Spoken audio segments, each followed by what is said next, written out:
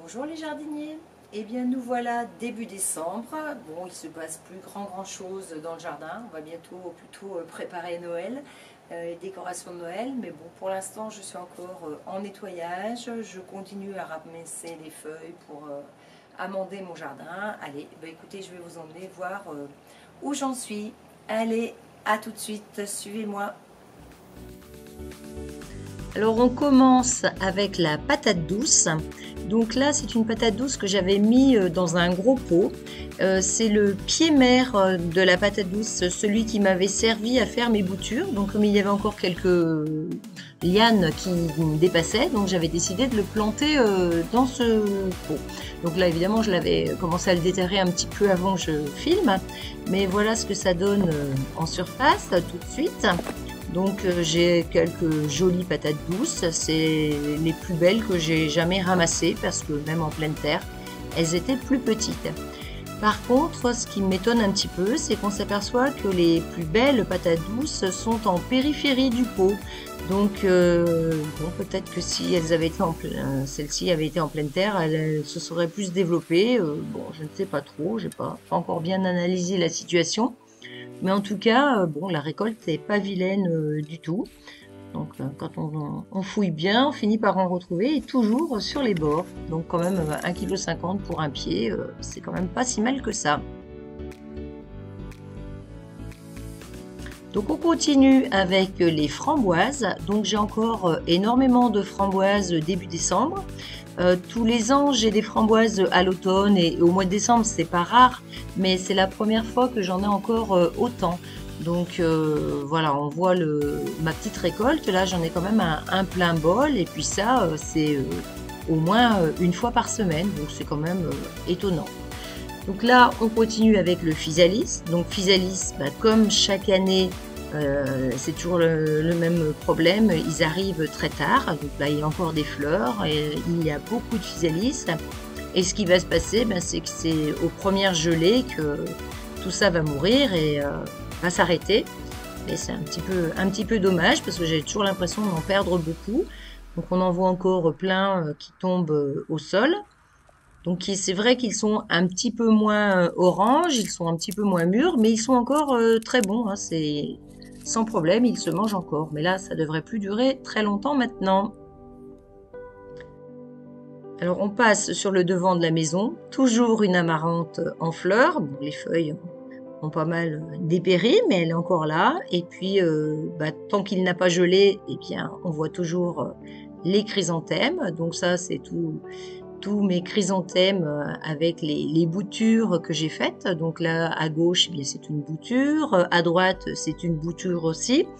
Par contre, ce sont des, boutures que je n'ai pas euh, beaucoup taillées cette année, enfin comme j'avais fait euh, dans la vidéo précédente de l'an dernier. Donc là, je les ai fait, voilà, je les ai laissés un petit peu venir comme ils voulaient. Donc là, euh, on voit aussi euh, devant la porte-fenêtre euh, une plante verte. Bon, elle n'est pas en très joli état, mais c'est une plante gélive.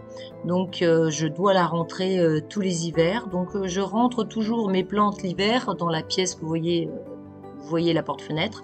Donc c'est une chambre d'été et c'est un petit peu la jungle à cet endroit-là puisque j'y mets toutes mes plantes. Donc là, on continue à voir des chrysanthèmes. Alors évidemment, vous voyez beaucoup de jaune parce que l'année dernière, j'avais fait beaucoup de boutures de chrysanthème jaune. C'était celui que j'avais au départ. Donc là, c'est un grosse fleur. Donc je vais essayer de faire des boutures, mais il paraît que la grosse fleur est plus difficile à faire que la petite fleur. Donc on verra. Et puis dans les nouvelles plantes qui sont à rentrer cette année, ben, j'ai aussi euh, un mandarinier. Donc euh, ben, tout ce petit monde va devoir rentrer euh, dans la pièce. Donc ça risque d'être un petit peu compliqué. Puis là, j'ai aussi un asparagus.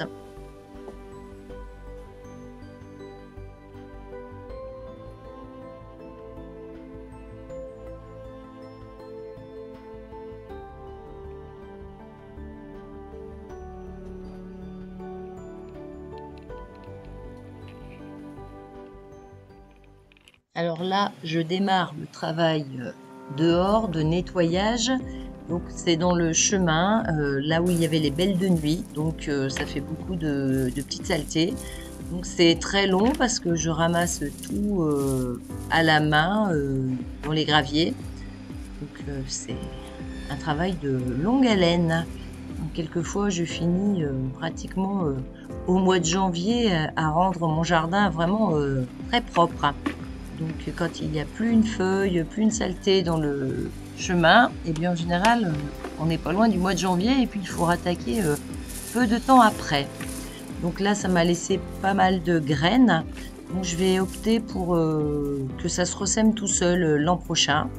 Euh, parce que c'était joli les belles de nuit. Donc j'ai envie d'essayer et puis de peut-être enlever un petit peu des pots parce que je trouve que j'avais beaucoup de, beaucoup de pots, beaucoup d'arrosage à faire.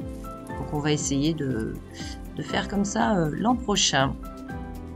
Alors on continue dans le grand jardin. Donc euh, là, j'ai mis un petit tunnel où dessous, il y a des salades euh, et des épinards.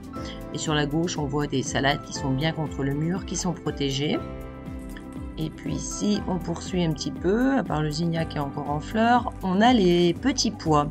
Donc je mets toujours deux rangs à l'automne, mais alors cette année, euh, c'est un petit peu catastrophique parce qu'il a fait vraiment chaud et euh, bien que je les ai mis presque légèrement plus tard que d'habitude, eh bien je m'aperçois que les petits pois sont déjà euh, à la fleur. Donc c'est pas du tout normal. Normalement ils se mettent en fleur euh, quand on est fin février, mais pas, à cette époque. Donc je vais être obligée de mettre un tunnel. Eh bien écoutez, je finis cette vidéo à la nuit tombante. Bon, il faut dire qu'il fait nuit assez tôt ces temps-ci. donc j'ai pas mal travaillé dans le jardin aujourd'hui. Et euh, bah, je vais vous laisser maintenant. J'espère que la vidéo sera euh, correcte puisque je l'ai faite avec mon nouveau logiciel. Que vous ne verrez pas trop de changements si ce n'est euh, des améliorations. Ben, écoutez, je vous dis au revoir les jardiniers. À bientôt.